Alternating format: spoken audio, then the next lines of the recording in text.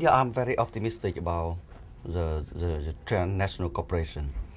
Uh, six countries, including Yunnan, China, uh, which uh, we are sharing the Mekong River, in which the, um, the upstream uh, country, if they um, constructed the industrial uh, production uh, plant in upstream, then they discharge pollutant to the river, and then cause the uh, downstream uh, water pollution.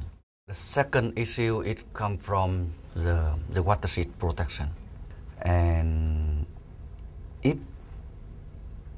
in the region or the the, the, the government uh, of the country in the region they don't uh, have a uh, effective intervention to maintain and to develop the watershed, then water will be in a way.